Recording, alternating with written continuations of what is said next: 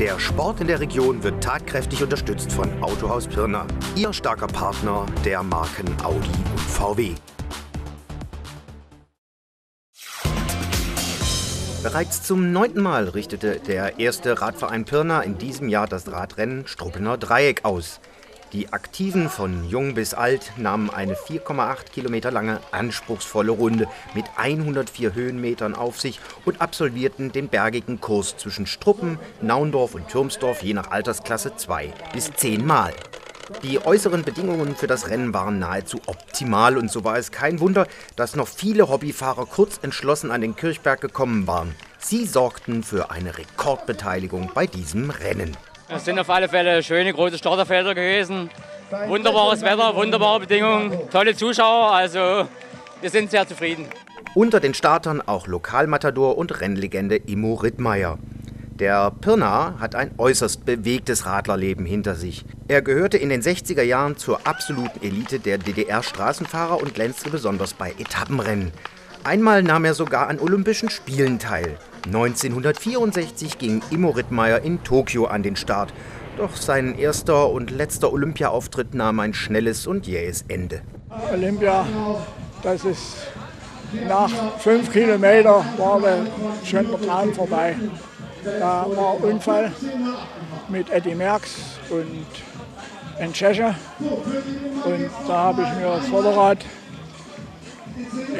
verbeult und konnte dann bloß bis zum Zielstrich dort tauschen. Und dann wieder ranfahren, das war Horror. Gewürdigt als Meister des Sports und Teilnehmer an unzähligen Welt- und Europameisterschaften ist er mit 77 Jahren immer noch richtig fit für dieses Rennen in Struppen. Vorbereitet habe ich mich nie, aber ich bin in der Woche so dreimal so 70 Kilometer gefahren. So die Sense raus, Vajanta von Vajanta, die Sense hoch und dann drüben über, über Ehrenberg, Grünersdorf, die Bockmühle, den schönen Berg, Häslich, Stolpen und dann die Röhrsdorf. Es ist beeindruckend, was der rüstige Rentner noch zu leisten imstande ist. Die Radsportlegende nimmt alle Schwierigkeiten auf dieser Strecke mit Bravour. Der Struppener Kirchberg, gefürchtet bei den Radsportlern wegen seiner zwölfprozentigen Steigung, stellt für ihn kein Problem dar. Auch der Zustand der Strecke zwischen dem Start Naundorf und Türmsdorf ist für ihn, aber auch für andere, kein Grund zur Beschwerde. Ich bin jetzt selber gefahren, also es war jetzt nicht so schlimm.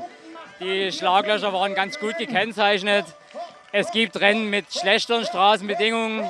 Äh, wir wir haben nun mal hier die Strecke und äh, wenn kein Geld da ist, wissen wir alle, dieses Jahr Hochwasser und große Schäden und und und. Es reicht nicht für alles. Und äh, ich würde aber sagen, die Strecke war beherrschbar, befahrbar und ich glaube auch nicht, dass es Beschwerden gibt.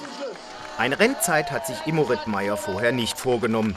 Doch bei dem Tempo, das der Radsportler, der bereits im Alter von 29 Jahren aus gesundheitlichen Gründen seine Karriere vorzeitig abbrechen musste, hatte keine Zeit für die Schönheit der sächsischen Schweiz. Nach etwas über einer Stunde kam Immo Rittmeier nach sechs Runden ins Ziel auf dem Struppener Kirchberg. Ich darf zufrieden sein, denn ich bin durchgefahren. Das ist wichtig. Und der, hier der Berg sechsmal drüber weg, das ist schon anstrengend. Und als Älterer ist man nicht mehr so beweglich. Da kann man keine kleinen Gänge rausfahren. Den Titel bei den ambitionierten Fahrern, die zehn Runden bewältigen mussten, sicherte sich eigentlich Matthias Hirsch. Doch da er eine Lizenz besitzt und dies unter Hobbyradlern verboten ist, wurde dem Tschechen Jan Nowota der Sieg beim 9. Struppner Dreieck zuerkannt. Einen Titel hatten aber eigentlich alle an diesem Tag verdient, die mehrmals den Kirchberg und sich selber überwunden haben.